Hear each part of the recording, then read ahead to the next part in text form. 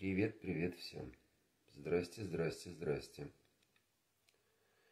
Шалом. Привет, друзья. Toată lumea. Hai să încercăm să facem un live, să vedem ce se întâmplă. Așa, prima persoană văd. Foarte bine.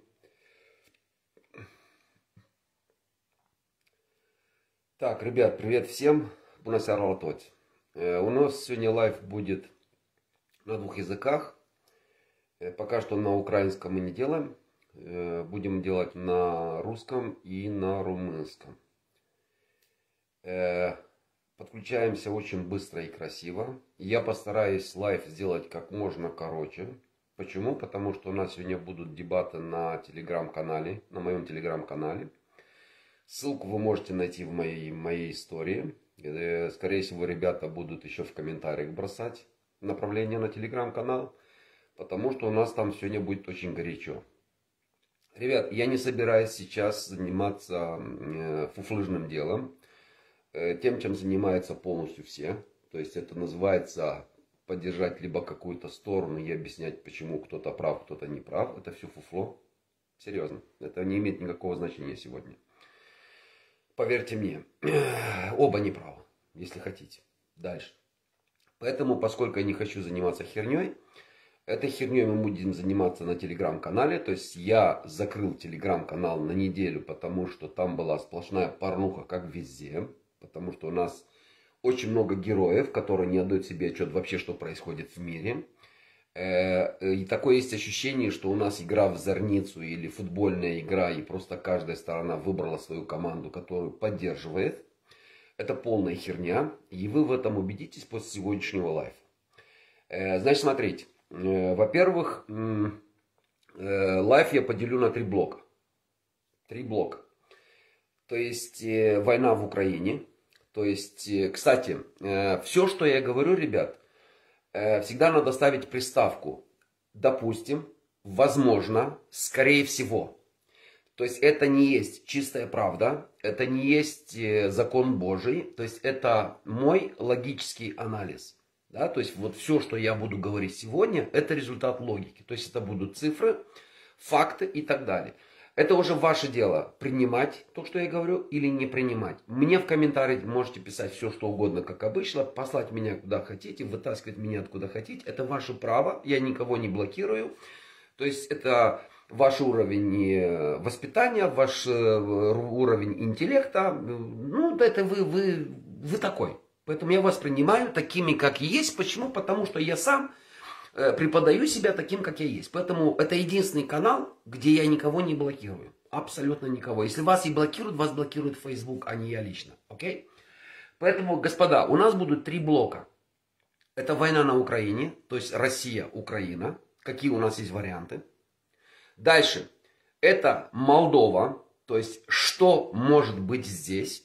И третий вариант, что мы должны сделать мы, как граждане этой страны в конце. То есть мы должны думать еще и о себе.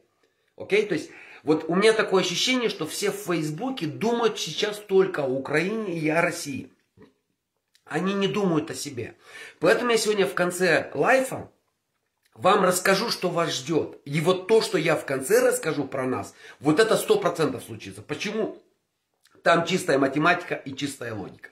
Если вот то, что я буду говорить в начале, то есть в первом блоке, то есть война Украина-Россия, например, да, или спецоперация, потому что меня тоже могут, наверное, штрафовать на 5 миллионов э, рублей, потому что я это называю войной. Э, назовем это спецоперацией, окей? Поэтому, ребят, давайте вот э, э, будем говорить по принципу «допустим», окей? Я постараюсь очень быстро пройтись по этому моменту. Да, кстати, я хочу ответить на один вопрос. Мне очень много людей э, написали в привате. Игорь, как ты смог сказать, что Майя Санду молодец, что написала заявление, то есть подписала заявление о входе в Евросоюзе. Как ты смог? Д -д -д -д -д -д -д -д. Ребят, во-первых, смотрите сюда внимательно. По сравнению с вами, я человек, который отдаю отчет в том, что я говорю. Да, потому что я в какой-то мере публичный человек, чтобы вы знали. То есть я стараюсь как-то ответить, за что я говорю. То есть когда я о чем-то говорю, то есть либо я критикую, либо я говорю, что кто-то окей, хорош, то у меня для этого есть все основания. Объясняю. За границей, ребят, находится полтора миллиона молдаван. Больше половины населения. Либо мама и папа там, либо дети там. У нас нету ни одной семьи, которая бы и не имела родственников в Европе. Поэтому представьте себе, Молдова уже такую херню проходила в сороковом году, когда был поставлен железный занавес. Вы хотите, чтобы это повторилось? Те, кто против. Вот почему я поддерживаю эту идею. Потому что я думаю о том, чтобы наши люди были вместе. Не потому, что я очень сильно люблю Евросоюз. Понимаете? То есть я по сравнению с вами, ребят, жил и в Евросоюзе, и в России, и в Америке, и в Румынии. То есть я точно могу рассказать, какие есть минусы везде и какие есть плюсы везде. Многие из вас понятия не имеют, что такое Евросоюз, понятия не имеют, что такое Россия и психология русского человека, понятия не имеют, что такое Америка, понятия не имеют, что такое Румыния. И я не жил, ребят, там месяц или два. Нет, ребят, я жил 8 лет в Румынии. Я жил 10 лет в, в России. Я жил в Италии пару лет. Я жил в Америке несколько лет, понимаете? И поэтому, когда я о чем-либо говорю, тем более я говорю бесплатно, мне никто не спонсирует. Мне никто не дает направлений. Все, что я говорю, это мои мысли вслух. Окей? Поэтому давайте сделаем так. Э, начнем с варианта война между Украиной и Россией. Ребята, я понимаю, что те, кто поддерживают, скажем так, Украину, э, те, кто поддерживают Россию, они могут быть не согласны со мной. Есть другая куча людей, которые, они никого не поддерживают, они просто думают о себе, чтобы выжить. То есть они все говорят, чтобы она закончилась. Это называется, ребят, наши фантазии и реальность. То есть то, что вы предполагаете и думаете, что должно случиться, это ваши фантазии. А есть реальность. Это называется война идет. Понимаете? То есть вот у нас есть два варианта. Признать эту реальность, либо фантазировать. Война идет, ребят. У вас опять же есть, реаль... есть определенные фантазии, что за счет того, что есть определенные санкции, что началась вот эта полностью война с русским народом, не просто с Россией, с олигархами и с Путиным, да, сейчас идет конкретная война просто, просто русских людей, которые не успели себе сделать гражданство Германии, там, Америки, там, Англии и так далее и тому подобное. То есть с простыми русскими людьми, которые либо как-то они сейчас находятся в Европе, либо они как-то находятся на фурах в Европе, то есть по работе и так далее. То есть это такая, знаете, вот весь мир начал бомбить простого русского человека, чтобы он поумнел и поехал домой и убрал Путина. Отлично, хороший план, ребята, это точно сработает, окей? Поэтому вот смотрите, ребят, давайте я вам объясню, что сейчас происходит. Сейчас у нас, ребята, это не война, это называется light, то есть легкий, легкая тренировка, чтобы вы знали. Это легкая тренировка. То есть те, то есть русская армия делает вид, что наступает, по-хорошему, да, то есть это не, потому что я вам скажу, что делала русская армия в Сирии, прежде чем она появилась на земле. Да, она сначала отправила бомбардировщики, превратила всю Сирию э, в песок, а потом пошли солдаты. Этого в Украине нету. Понимаете, в Украине этого нет. Там они, конечно, сильно проебались. Они думали, что их встретят с цветами, и все будет хорошо, потому что, ну, они так думали, что приедут на Украину, пройдутся по пляжу, дойдут до Киева, поменяют власть, власть, и все будут счастливы. Проебались. Но есть такое понятие, война планы покажет. Вариант того, что вдруг После этого облома они сдадут назад, русская армия. Ошибка. Ошибка, ребята. Психология русского человека это не позволяет. Понимаете?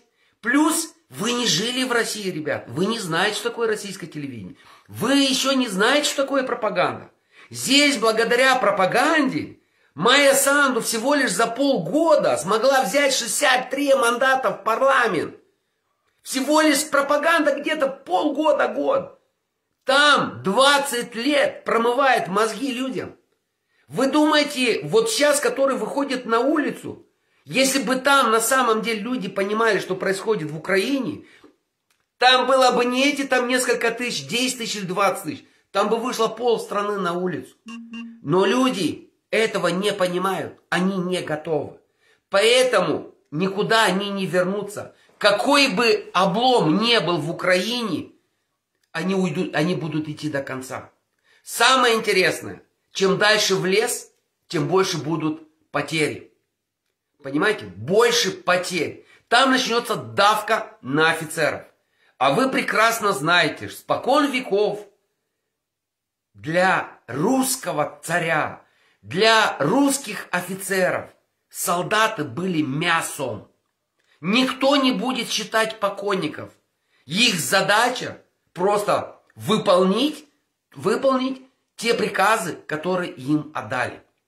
Поэтому я вам и говорю, вот чем больше тормозов сейчас будет на Украине, чем больше жертв будет с российской стороны, и плюс с местной стороны, то есть э, э, э, гражданские, э, украинские офицеры, чем больше обозлятся люди, и только тогда начнется серьезнейшая, настоящая война, ребят. Поверьте, настоящая война начнется буквально в ближайшее время. Если только не случится чудо, поверьте мне, чудо, это на самом деле, вот это вот слово чудо, как никогда подходит здесь.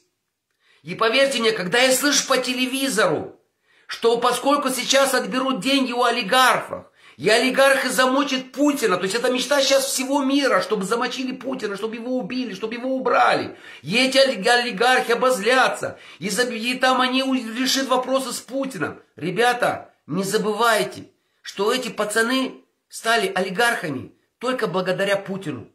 Они являются кошельками, это не их деньги – это общак пацанов, которые правят Россией. Поэтому никакого, никакого, никакой сказки априори не может быть. Вы понимаете, вы просто забываете, из каких структур этот человек. Потому что те олигархи, которые привели Путина к власти, они давно уже в земле, типа Березовского и другие. А вот те, которые сейчас в России – это олигархи, которые появились на этом свете и стали такими крутыми только благодаря Путину. Потому что он им дал это право. Понимаете?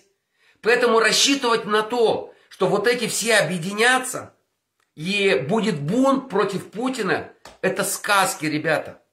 Это большая сказка, этого не случится.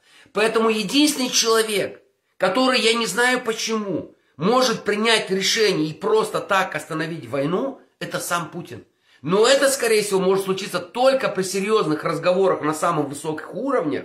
Я имею в виду Германия, Англия, Соединенные Штаты и так далее и тому подобное, чтобы они разобрались и сказали, Володь, будь другом, давай заканчиваем, хер с ним, никакого НАТО в Украине не будет, хер с ним, будет второй язык русский в Украине, хер с ним и так далее и тому подобное.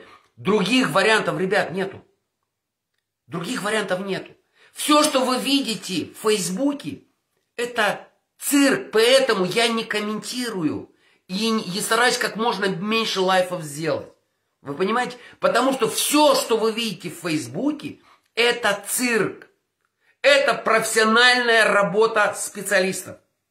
Именно для того, чтобы создать определенную атмосферу в обществе.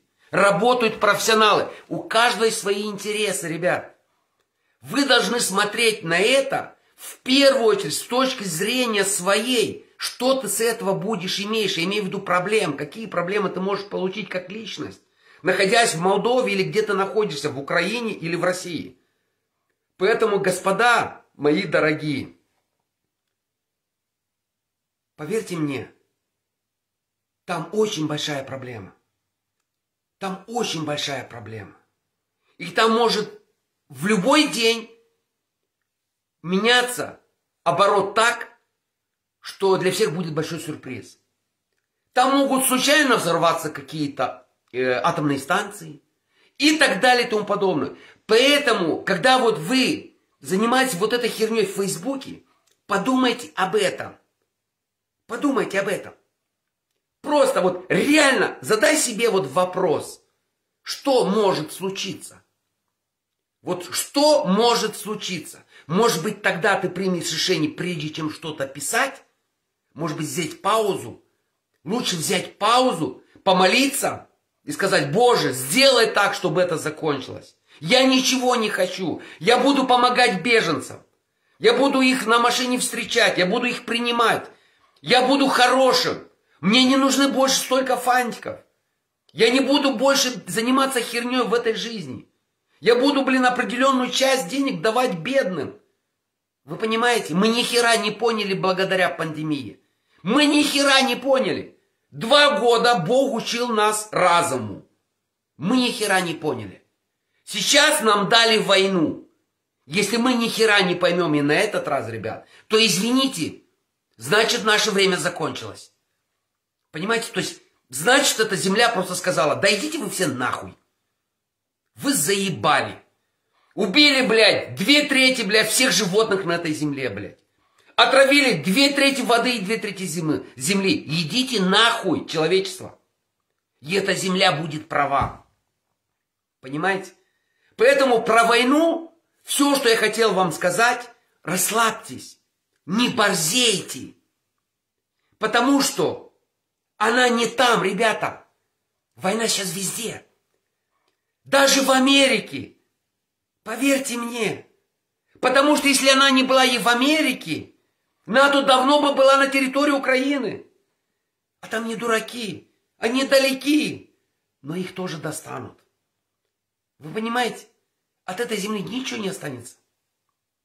Ничего, как будто и не было. Поэтому э, давайте сделаем попроще. Давайте мы оставим героизм. Я предлагаю тех, которые сильно, ну прямо сильно фанатично за Украину. Ребята, у вас есть принципиальная возможность поехать в Украину, взять автомат в руки и пойти по, понюхать пороху. И также, пацанов, которые за Путина, у вас есть принципиальная возможность сесть в автобус, он едет, Кишинев, Москва, через Европу, поехайте в Москву, идите добровольцем, и тоже идите понюхайте пороху. Уходите из Фейсбука, ребят. Бросайте вы это грязное дело. Поверьте, ну не геройство, не, вот я понимаю, там женщины сидят. Им нечего делать, они могут фантазировать. Тем более, может быть, у них там, я не знаю, может быть, там они неудовлетворенной жизнью. Ну нет, вы не поняли, я имею в виду, ну не та помада может быть у нее, там еще что-то. Но вы, мужики, герои, блядь. Возьмите заодно этих придурков, которые бегают по Кишиневу и кричат «Слава Украине! Героям славу!» заодно. Да, возьмите, возьмите, слушай, Зема, блядь, не вопрос, ты герой, поехали обратно, я с тобой, я тоже хочу. Хоть сдохните, как мужики, если вы такие герои, блин. Поверьте, ребят, это так просто. Идешь туда, там вообще, это красота. Война это самое прекрасное. Это такая чистка земли от дебилов, вы себе представить не можете. Но, к сожалению, умирает до хера хороших людей, детей, женщин. Ладно бы сдохли только дебилы. Было бы вообще круто. В каждый год войну в какой-то стране, чтобы, блядь, избавиться от дебилов. Но, к сожалению, ребята, к сожалению, умирают дети, умирают женщины. Понимаете? убивают дальнебойщиков в Европе, которые вообще ни при чем. Заблокировали карту у пацанов, которые вообще ни при чем. Мой брат дальнебойщик. Он молдаван. Я представляю себе, ему заблокировали карту, потому что он молдаван. И все радуются, да так им и надо. Все, блядь, смотрят российское телевидение Новый год. Все. Абсолютно все. Им нравится шоу российское. Вы понимаете? Это называется блядство. Народ. Сейчас идет просто очень плохая штука в Украине. Поверьте, для всех. Брат на брата пошел. Почему? Да мы все виноваты в этом. Потому что Путина выбирали такие, как мы в России. Этих пидорасов, которые обокрали Украину и допустили, что там были все эти перевороты, обокрали, в, голосовали такие же, как мы. У нас в Молдавии выбирали вот этих пидорасов, которые, которые правили 30 лет в Молдове, выбирали тоже мы. Так кто, сука, виноват в итоге? Путин? А он что, блядь, с космоса появился и начал властвовать в России? Разве не народ его выбирал все это время? Ладно, последние 8 лет согласен, была чистая наебка. А до этого? То же самое касается Украины. Был же Порошенко. Он же тоже пришел к власти, чтобы решить вопросы с, с войной. Потом пришел Зеленский. Да Порошенко был тот еще вор, блин, у власти. Вот откуда растут ноги, ребята. И эти ноги растут везде в мире. Такая же херня в, в, в Румынии, чтобы вы знали. Такая херня в Америке. Очень хорошо сейчас найти крайник. Ребят, мы виноваты. Простое население, которое не информируемся, живем на эмоциях, и мы все все знаем. Хотя ни хера не знаем. Потому что невозможно знать. Это слишком серьезные, слишком серьезные игры. Если мы его узнаем когда-нибудь, то хер его знает когда.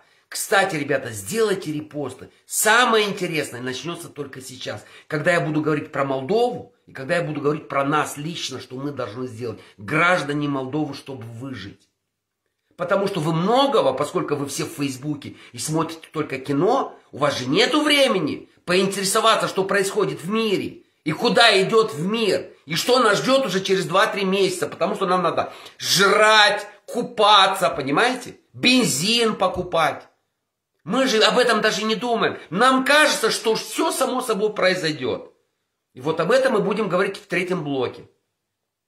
Понимаете? Поэтому, господа, про войну я сказал все, что хотел сказать. Дай бог, я сам, ребята, хочу, чтобы как можно быстрее эта хуйня закончилась. Поверьте мне, я сам этого хочу. Но, к сожалению, из того, что я вижу, потому что весь мир сейчас, в том числе мы все, занимаемся тем, что поливаем бензин в этот огонь. Что сторонники Зеленского, что сторонники Путина, что сторонники Европы, что сторонники Америки. Весь мир сейчас заливает бензин. Почему? Во-первых, американцы, европейцы не знают психологию русских людей. Они просто не знают. Если они думают, что они так сломают психику русских, вдруг они все, э, все сдадутся, ребята, там 80% населения не имеют даже загранпаспортов. Вы понимаете, они так же, как мы, срут в огороде. Вы не смотрите на Петербург и Москву. Это херня, ребята. Это 20 миллионов. Россия имеет 140 миллионов. Но добавьте еще 20 в других городах. Остальное это все темный лес, которым вообще наплевать. Там в Сибири они по радио, если или по радио, или там кто-то придет и скажет, вы знаете, взорвалась, блядь, какая-то атомная станция в Украине. А им похуй, они там 3-4 тысячи километров. Вы понимаете, о чем я говорю? Поэтому не будет работать эта давка. Ну не будет, ребята. Я хочу, чтобы она работала. Не будет работать. Пообщайтесь, если у вас есть друзья, родственники в России. Пообщайтесь с ними. Просто спросите, как атмосфера, что думают русские об этом. И вы охереете. Я-то общаюсь. Охереете. Почему? Телевидение. Как и в Молдавии, как и в Украине. Телевидение делает чудеса. Мы хаваем то, что они хотят. Поэтому расслабуха. И прежде чем залить лично еще ложку бензина, в эту херню подумай, что ты пишешь. Просто подумай. Может, просто написать. Я устал и хочу мира. Господи, успокой этих дебилов. Я хочу мира. Вы понимаете? Вот что вы должны писать. Поверьте. Окей, поехали дальше. Ребят, да, кстати, скорее всего, скорее всего, это уже логика, опять же. Скорее всего, никакой российской армии в Молдавии не будет. Почему? Объясняю. Кстати, господа, э, мои земляки, еще раз, я горжусь вами за все, что вы сделали для украинцев. Независимо, что там есть пару блатных, но сегодня начинается в Кишиневе операция «Белая ночь», потому что э, вот эти все блатные, они в прошлую субботу и воскресенье не смогли пойти по дискотекам, по клубам Кишинева, и они э, пойдут в эти выходные. Я хочу вам по секрету сказать, что они наконец-то узнают, что такое молдаване. Просто они не понимают, что в Молдавии тоже есть блатные люди, которые ведут ночной образ жизни. И, скорее всего, уже завтра или сегодня будут разные лайфы. Или завтра мы узнаем кучу информации про то, как блатота из Украины, который наглеет в Молдове, вдруг им перешло черная кошка. Это случится в сегодняшних клубах сегодня ночью и завтра. И это будет хорошее воспитание. Да. Поверьте мне, это начнется. Поэтому про блатных я сказал в прошлом лайфе, не хочу больше задерживаться на эту тему. Но я хочу сказать про обычных людей. Ребята, спасибо вам. Ребята, я горжусь вами. Вы правильно делаете. Понимаете? Вы правильно делаете, что помогаете. Абсолютно правильно. И самое главное, что я хочу вам сказать. Ребята, это только начало. У нас сейчас 70 тысяч. Если эта эпопея в Украине не закончится, поверьте мне, вы же видите, Европа уже не принимает беженцев практически. Они не будут принимать. Скорее всего, Молдову превратят в лагерь для беженцев. Ребята, такова судьба страны. В такой ситуации была Турция, которая находится рядом с Сирией. Мы люди. Вы поймите, это мы обязаны перед Богом в таких ситуациях помочь другим людям, неважно какой национальности. Мы никуда от этого не денемся. Скорее всего, будет серьезная помощь со стороны Европы. Ребята, сделайте репост. Это очень серьезно. Вы должны быть готовы. Эта информация должна дойти до каждого нашего гражданина. Это не политика, речь не идет о Майе Санду, о Путине, о Зеленском и так далее. Это наша жизнь, люди. Мы должны выжить, мы должны быть готовы ко всем приключениям, которые будут с нами. Вот про что этот лайф, чтобы вы знали. Никто вам эти вещи не будет говорить, поймите. Никто не будет говорить об этом честно. Постоянно вы будете узнавать это, что вот это случилось, что это случилось и так далее. Поэтому имейте в виду, скорее всего будет помощь. Скорее всего, я просто готовлю к тому, чтобы вы не испугались от этого. Ребята, это нормальная ситуация. Почему их не будут пускать в Европе? Там, если пойдет серьезная драка, Украину просто превратят в песок. И многие люди, когда узнают, что у них уже домов нету, они не захотят вернуться обратно. Поэтому Германии, Англии и так далее и тому подобное невыгодно брать украинских беженцев, ребят. Почему? Они останутся навсегда. А если беженцы останутся в Молдавии, какой украинец захочет жить в Молдавии? Мы бедная страна. И это единственный шанс, чтобы они вернулись домой. Поэтому, скорее всего, скорее всего, ребят, речь идет о несколько миллионов людей. Слава Богу, у нас есть куча сел пустых. Нам есть где принимать этих людей. Скорее всего, будет помощь от Европы. Скорее всего, иначе мы не, мы не справимся. У нас все деньги ушли, все деньги ушли на газ этой зимой и на тепло, ребят. Мы в очень херовой ситуации сейчас. Без помощи Европы мы долго не продержимся. Мы не газа. Кстати, это мы сейчас, чтобы вы, вы знаете, кому мы сейчас помогаем в, преж, в, пер, в первую очередь? Мы сейчас собираем говно за Россией, кстати. Вот мы, блядь, которым платим самую большую цену за газ, нашим друзьям, блядь, из России, сука. Вот мы сейчас за ними убираем говно, блядь. Мы принимаем людей, которых они вытащили из, из дома. Мы сейчас помогаем двух, двум братьям сразу. Один, который сошел с ума и выгнал другого из дома, блядь.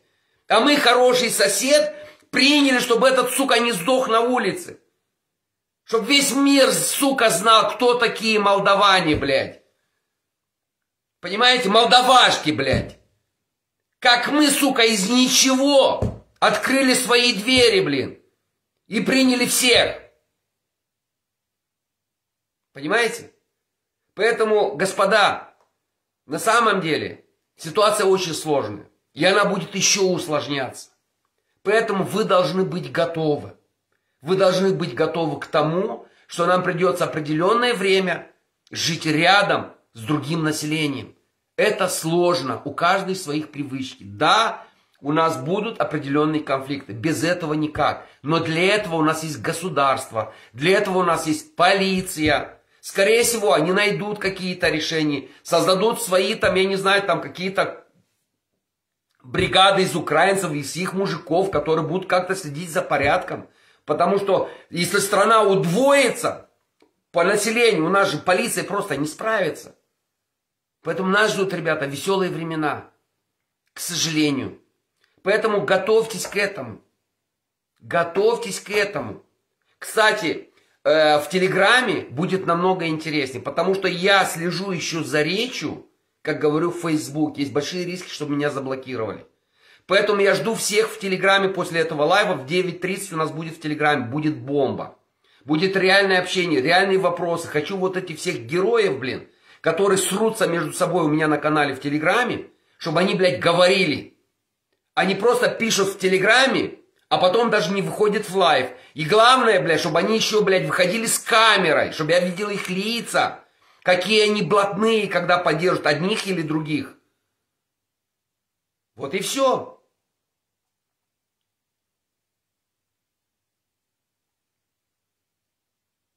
Да.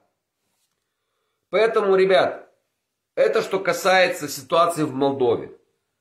Пока что ситуация, во всяком случае, как найти, у меня в истории есть ссылка на канал Telegram. В истории есть все. В стори. Найдете.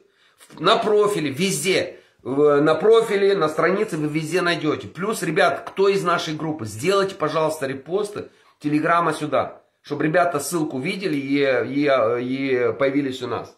Ребят, поэтому смотрите, я вам это все говорю, это не паника. Люди, это не паника. Быть готовым к худшему, это не называется паника. Моя цель, и вы видите, это к тому, чтобы мы готовились. Мы должны готовиться, ребят. Потому что когда ты готов и встречаешь реальность, ты реагируешь нормально. Когда ты не готов, это конец света. Окей? Дальше переходим к следующему вопросу. Мы. Лично мы. Лично мы.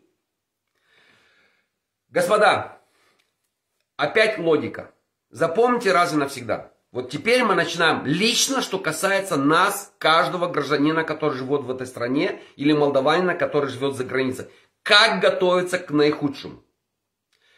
Ребят, все вы в курсе, сколько стоит нефть и газ. Вы прекрасно понимаете, оно не упадет в цене, потому что все санкции идут к тому, чтобы закрыть кислород России. Логика. Никаких фокусов. Дальше. Многие из вас не знают, но я вам это скажу. Украина в первой тройке по экспорту зерна в мире. После всех бомбежек, которые происходили вот это время, в этом, в этом году сельского хозяйства в Украине, в, Украине, в Украине практически не будет. Никто не знает, как она закончится. Что это значит? Посмотрите в магазинах, сколько продуктов из Украины, и просто поймите, что их не будет. Посмотрите в магазине, сколько продуктов из Беларуси, их не будет. Потому что Белоруссию не пустят. Все, санкции. Окей? Дальше. Э, почему я вам это говорю? Даже касается, вот касается, что касается меда, чтобы вы знали, да, Украина один из самых больших экспортеров меда в Германии. В этом году меда не будет. Почему? Потому что технический мед, чтобы был, для этого нужен подсолнух и агрокультура. Единственный мед, который они еще соберут, это те, которые живут рядом с лесами, где есть акация. Окей? Почему я вам это говорю? Э, что делаю я? Ребят, чтобы вы знали, у меня есть определенный план, вы прекрасно знаете, я закупаюсь летом, я, я, я дальше занимаюсь э, своим делом, то есть сейчас делаю улья, буду заниматься пчелами, буду заниматься своими дровами и так далее и тому подобное. Что делаю я? Например, я знаю, кстати, бензин в Америке еще цену в 5, дол 5 долларов за галлон за всю историю Америки не было. Чтобы вы знали. Э, что я сделал? Я знаю, что мне, вот я сейчас купил много леса, но сейчас его не привезти из леса, потому что там, ну, грязь. И когда я начал договариваться с ребятами, которые должны его привезти, они мне сказали, Игорь, я не знаю, сколько это будет стоить тогда, потому что видишь, что творится. Что я сделал? Чтобы я не попал в непонятку, я заблаговременно купил себе столько солярки, сколько мне понадобится, чтобы решать свои вопросы. То есть, ребята, если у вас есть спланировано дома, э, вам что-то, вот вы планировали что-то купить. Поверьте мне, если у вас есть лишние деньги, купите это сейчас, пока эти деньги не превратились в труху. Будет сумасшедшая инфляция. Почему? Банки, все, вот все страны большие, будут опять печатать сумасшедшее количество денег. Но экономика не будет работать. Соответственно, будет инфляция. Дальше. У нас по, по, по, по, повысится население Молдовы за счет беженцев. Понадобится вот сейчас как никогда выгодно заниматься сельским хозяйством, при том частным сектором. Потому что, скорее всего, уже даже захочет Кауфланд ввести сюда продукты, он не сможет ввести в таком количестве. Почему? Потому что такие же спады будут в Европе, ребята. Спады будут везде, когда паника на рынке, когда война в мире, происходят сумасшедшие спады. Поэтому имейте в виду, вы помните, еще в августе месяце всем говорил, ребят, если у вас нету дома в деревне, то есть продали дом матери там или бабушки, идите и купите себе дом в деревне. Это поможет вам выжить, люди. Вы представьте себе, сколько вам придется платить за газ, за тепло следующей зимой. Когда такие вещи происходят в мире, не надо думать о моде, а думать о том, как выжить. Те деньги, которые у тебя есть, ты должен ими, ими правильно пользоваться. Я вижу сейчас очень много сумасшедших, почему-то покупают доллары и евро. Да, я понимаю, если ты какой-то политик, который собираешься съебаться из Молдовы, то ты делаешь правильно. Но если ты молдаванин, то ты просто идиот. Ты не знаешь, что мы ходим, что Банк Молдовы ходит под Международным банком, под ФРС. То есть, поверьте мне, не будет никакого подъема сумасшедшего в леях э, э, на валюту. Почему? Потому что мы привязаны. Инфляция будет одинаковая на все, что на евро, что на доллар, что на лей. Поэтому это самая большая глупость, последние деньги, инвестировать в евро и в доллары, например, да, и ждать, и что с ними делать? Ты их будешь жрать? Вместо того, чтобы пойти сейчас купить в деревню, вы понимаете, насколько поднимутся дома в Молдове, в селах, когда понабегут вот эти беженцы? Вы себе представить не можете. Если ты сейчас можешь пойти еще купить за 20, за 20 э, тысяч леев дом, в котором ты можешь жить, там есть все, немножечко ремонта, и ты в шоколаде. Ребята, я вам дам простой пример.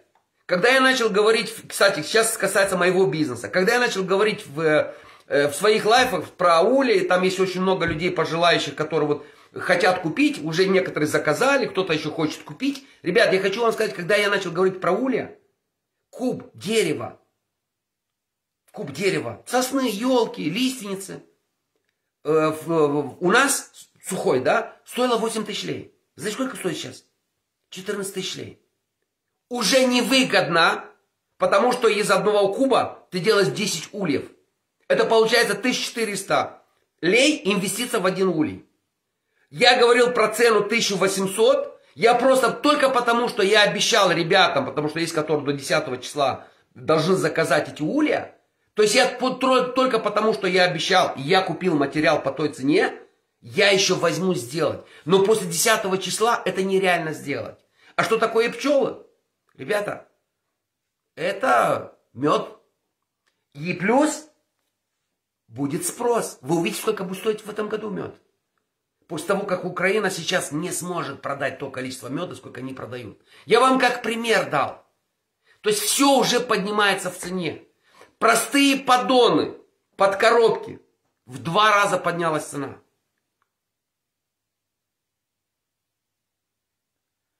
Cineva scrie cu 20.000 de lei nu cumperi casă. Ok, eu nu vreau să, să păriesc cu dumneavoastră.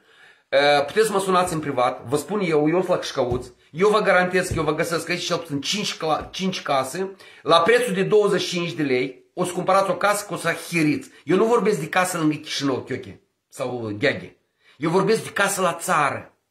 Așa că cu 20 de mii de lei vă spun eu că-ți cumperi. Eu n-am spus că îți cumperi casă cu euro remont. Îți cumperi, îți cumperi casă, unde nu-i crapată, unde nu-i șis, unde nu curge acoperișul, unde geamurile sunt bune, unde îți poți să trăiești. Să-ți faci o leacă de grădină, ai să ai 20-30 de sote de pământ, ai să spui usturoi, ai să spui cartofi, ai să spui pătlăjică, înțelegi? N-ai să stai în căldura asta nebună, vara la Chișinău. Dar ai să vii la țară așa cum a fost să vezi că e vremea. Când aveau tăți daci, îți duceau la părinți, ajungeau la prășit, înțelegi? Vă mai întoarce înapoi, nu chiar ca la ruși, ca o să te ducească internetul. Dar vă mai întoarce să picioarele pământ, că mulți ați scosit, ați prășit, nu mai așa de borză, înțelegi? Voi închipuiți-vă pentru o secundă că vă se închide apa, apa în Chișinău. Ce ați făcut voi? A? Ați să faci toaletă în stradă? Băieți, eu vorbesc lucruri serioase. Mulți nu înțeleg. Asta e treaba voastră. Dacă vouă vă pare că eu am și să conving pe cineva, băieți, din 500 de oameni, dacă doi oameni au auzit ce am spus eu, și pe unul o să mă sun și spun, Igor, câtă dreptate ai avut tu? Uite, m-am dus la mine la țară, mi-am cumpărat o căsuță, eu cel mai fericit om. Nu destul că eu pot să mănânc acum. Încă pot să trimit lui fratele la Chișinău sau la Băl și așa mai departe, înțelegi? Înțelegeți sau nu? La mine Tanighine, la noi și patru gospodării de grămadă, care, da, la timpul lor au fost investiți bani și cumpărate, când eu aveam bani mulți. Erau bani liberi. Noi avem un hectar jumate. Eu nu ceva v-am spus, eu pot să nu ies din grădină 5 ani de zile și de foame n-am să mor. Eu pot să-mi pun și păpșoi în grădină, și grăsărite, și grâu, și vrei. Eu am făină, noi avem răsărit, avem ulei de casă. Înțelegeți? Da, trebuie de mușit, băieți, la asta. Trebuie de prășit dacă vreți să fii ecologici. Înțelegeți? Dar cum ați vrut voi? Dar ce vă pare că vă ușeau? Dar de ca o să vă dea ajutor lei sau euro, ce să mănânci? Băieți, vă spun încă o dată. Fiți atenți. Fiți atenți. Și aici din Europa nu vă simțiți tare uverenie că la voi tot să iubiți. Că peste voi, că, băieți, statistica e foarte simplă. La o populație de 40 de milioane, dacă se pune țara pe butuși, cel puțin 10 o rup din gară, care sunt gata să lucreze pentru oricât în Europa. Așa că, băieți, nu fiți așa de uveri în ăștia care stau prin Germania, sau prin Italia, sau prin alte țări, că la voi tot și să iubiți. Când o să fie brigada asta peste voi, dar voi de mă auziți prin Germania vorbi. Că mulți îi pun la otpusc, că tipa nu știu și să le dea la bejunță de lucru. Voi deja ați auzit așa istorie. Așa că băieți, eu nu degeaba v-am spus. Și 1000 de euro, și 20 de mii de lei. Înțelegi? Și 20 de mii de lei. Vineți la mine în sat, eu vă găsesc case. Aici din Europa. Veniți că aici măcar știți să munciți cum faci măcar o activitate ce serioasă. Înțelegeți? Așa că, fraților, fiți atenți. Fiți atenți. Timpurile astea, ele sunt foarte rele. Dar dacă ai minte, ele pot deveni bune. Vă dau un exemplu. La momentul actual, bejanții ăștia bogați care tu ia, asta e matematic, care au venit în Chișinău, cheltuie săptămânal în jur de 2-3 milioane de euro. Nu toți sărași, că au venit și mai bogați. De atâta restaurantele se pline acum în Chișinău. Și așa mai departe. Dar uităm chestia asta. Cum vă gândiți voi după ce se termină războiul? După ce au fost primiți toți ucrainieni niște la noi în Moldova, care au mâncat mâncarea noastră, au văzut ce înseamnă restaurantele noastre, au văzut că suntem noi de primitori. Voi vă dați seama câți după război o să vie la noi unul speție. Înțelegeți? Câți după război? Voi vă dați seama că acum toată lumea o să vorbească din Moldova. Voi vă dați seama și reclamă și marketing o să fie pentru turismul nostru. Da, asta sună cinic și spun eu. Dar războiul o să se termine. De atâta eu v-am spus în filmul trecut. Băieți, tot ce faceți voi o să vă întoarcă înzecit. Dumnezeu e mare. El vede tot, tot binele care îl face moldovanul. Și când o să termină războiul și toată lumea O să știi, băi, moldovenii, sărăntoși și ea. O primit un milion ceva de oameni care i-au hrănit, i-au ținut, nu i-au aruncat în stradă. Haide, băi, și noi să vedem și cu țara asta. Și că atunci o să înflorească Moldova. Băieți, țara poate înflori numai prin fapte și prin muncă, nu prin pizdioși. Politicienii se ocupă numai cu promisul. Nici un politician nu o să vă spun, băi nebune, trebuie să muncești că trăiești ghinii. Deși că proștii nu-l aleg. Înțelegeți? Prostul vrea să te chișă urechea lui și e cald la cap. El nu vrea să-i spui adevărul. Nici într-un caz. Postul vrea chișet cald în urechi. Ca să și cald, înțelegi? Ia că și vreblin prostul.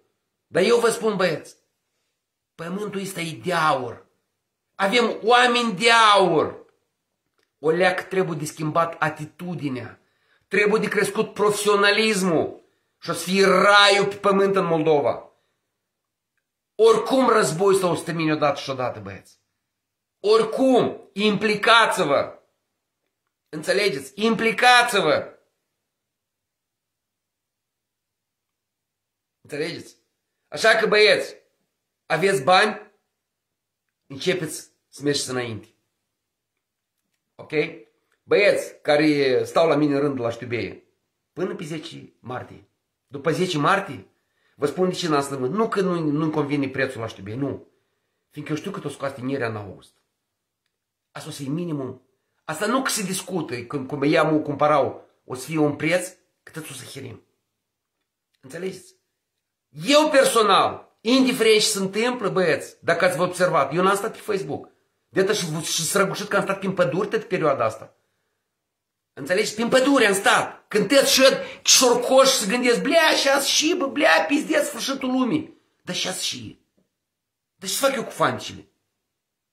Să presupunem că iau o torbă de fanci, lei, euro, dolari. Și cu, dacă chiar intră ruși aici sau nu știu cine. Ce să fac eu cu dânsele? Și dacă vin ruși sau americani sau japonezi și gata să termină lumea, eu și nu trebuie să muncesc, eu sunt lemnar, băieți. Eu trebuie să am lemn, eu trebuie să am scule, dar cum să trăiesc eu? Cu ce să mă hrănesc eu? Nu știu să rămân eu cu torba asta de fanci. Cum au rămas părinții noștri în 90, cu hârtiuțe. Bunii noștri la români au rămas când s-au dus românii. Nu am o să rămâneți ori cu euro, ori cu dolari, ori cu fanci. Înțelegi? De atâta pentru mine, eu sunt lucruri care depind de mine, fraților. E ca asta eu fac. Dar să-mi bat eu capul de ce și nu depinde de mine, că o să-i se scoale lui Putin să iei Moldova, sau să nu iei Moldova, asta eu hotărăsc. Cam să hămă eu pe Facebook, pizdeț, asta, blядь, o să ajungă la Putin și Putin a să ieși, zic, oi, blядь, eu și american, pizdeț, blядь, că americanul să suca să nu mă bagă Moldova, și eu pizdeț nu mă bag. Dar lui poher. Fix așa lui poher de postările voastre care le scrieți. Înțelegeți? Ca și lui Zilenski, poher de postările voastre care le scrieți, băieți. Asta e joc la cel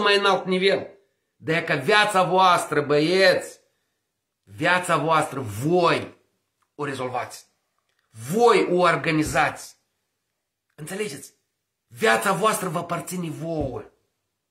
Nu așteptați să vă rezolvi politicienii, vecinii, părinții, copiii, cumetrii, hirneată asta. Cum spun unii pădurari ăștia, băi Igor, tu ești optimist. Dar de ce eu sunt optimist? Nu, eu nu sunt optimist. Pur și simplu de mult trăiesc, băieți. Anul să fac 50 de ani să vă chem Tesla din răjdenie. Am să fac o nuntă aici la Cășcăus la, în septembrie. Tăți drujii eu să vie ăștia care, clienții mie, tăți să chem. Facem aici o nuntă, poate ne găsești nireasă până atunci. Înțelegeți? Poate fac o nuntă la, în septembrie, blin, că eu din septembrie și când găsesc încă și mireasă. Băieți, viața e frumoasă. Viața e frumoasă. Femeile și în vremea războiului îți dau buzele cu ruj sau îți rus cu pomadă dacă nu știi ce înseamnă ruj.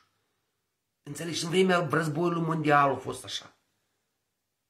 Și în vremea războiului oamenii fac dragoste, adică sex, ca voi știți. Viața continuă. Viața e frumoasă oricând. Dacă ești de acord cu realitatea. Dacă trezești dimineața și spui, nu, bună ziua, asta e viața.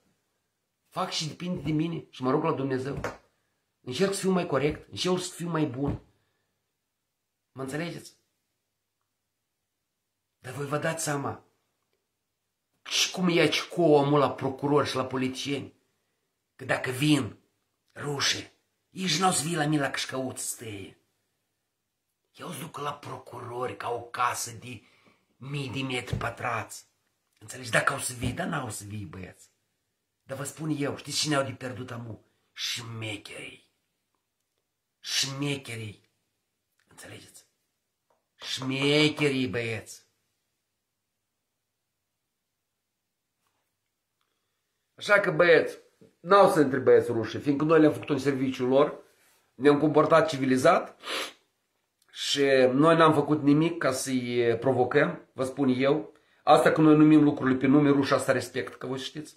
Rușii sunt un popor care voi să știți băieți, care respect puterea, nu respect lingușala. Rusul mai mult o, scri, o să respecte critica de lingușala, vă spun eu, băieți, care am trăit 10 ani acolo. Înțelegeți? De atât nu-i fric să vorbesc deschis pe Facebook. Măcar că v-am spus că am la modă să, să o critici pe Maia Sandu, că e, e oricum n-a să-ți facă nică, că e, tu faci parte dintr-un sistem civilizat, democratic.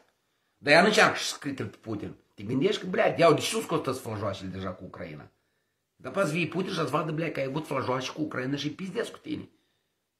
Înțelegi? Nu e așa, băieți. Noi ne-am comportat perfect. Noi am avut comportament de oameni, băieți.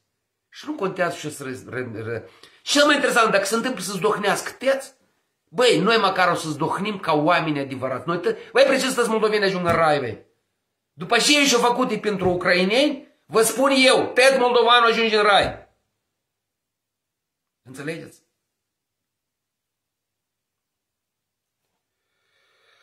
Ой, блядь. Ia că și să-i spun eu omul ăsta. Americanul, tu ai 12 feți. Nu știu cine te mai crede. Da? Eu am mai multe feți, frate. Că dacă ai pe toți pe care am criticat eu și ai se numești feță, da? Cazul critic pe Putin, l-am criticat pe Maia Sandu, l-am criticat pe Usate, l-am criticat pe Năstase, l-am criticat pe Dodon, l-am criticat pe Diaco, l-am criticat pe Plahatniuc, pe Șor, de acord cu tine? Da, dacă în, dacă în stilul tău, dacă tu ești învățat să suși cu coșelul numai la unul, sau poate să tu ești muiere, sau tu ești mujic, dar nu contează. Puteți sujeți amândoi pe rând. Atunci, da, tu ești vernei, vernea Sosca sau vernei Sasun. Dar eu dacă sam pe себе, eu pot să critic pe oricine. Înțelegeți? Eu pot să critic pe oricine. Crede-mă, eu n-am frică, băieți. Eu muncesc, băieți, pentru viața asta. Eu merit libertatea asta și gata. Înțelegeți? De atât dacă nu sunt plătit de nimeni, fraților, de atât îmi permit chestia asta. Sunt liber. O fac pe banii mei și în timpul meu. Înțelegi? Și n-am navar, că nu sunt nu nebun. Dacă mă, mă gândim la politică, serios, nu mă bagam acum în lemnărit, băieți, și nu visem o vere în chestia asta. Înțelegeți? De dacă am planuri să mă ocup de lemni, de alghini, de agricultură, de turism, nu mă interesează căcatul ăsta de politică, e căcat, băieți. Vedeți ce faci în Ucraina. Ați înțeles? Nu mă interesează. Am fost, am participat în alegeri și așa mai departe. La revedere! Nu este pentru mine. Și gata. Nu este pentru mine. Eu nu pot așa. Eu îmi numesc lucrurile întotdeauna pe nume. Dar proști de hira care vor să te în urechea lor. Dar eu nu pot. Eu așa nu pot trăi. Fraților, vă aștept pe Telegram. E ca acolo și parnuh adevărat. Că eu am acolo niște băieți șerbinți de ăștia care sunt cu Rusia, care sunt cu Ucraina și abia îi aștept să-mi pui suca întrebări să mă întrebi pe mine, înțelegi? Eu azi am și un rolul lui Zelenski, un rolul lui Putin și un rolul lui Maia Sandu. Eu azi am să răspund la întrebări. La tot șmecheri de la mine de pe canal. Dar credeți-mă că acolo am îngrămădit niște artiști? De mamă, mamă. Băieți, vă mulțumesc și vă spun încă o dată. Asta este părerea mea. Fiți atenți. Viața continuă. Pregătiți-vă. Numai voi puteți să vă pregătiți. Fiți gata. Întotdeauna de ce este mai rău. O să fie mai bine, nu mai este bucuri. Asta e foarte important. O seară bună.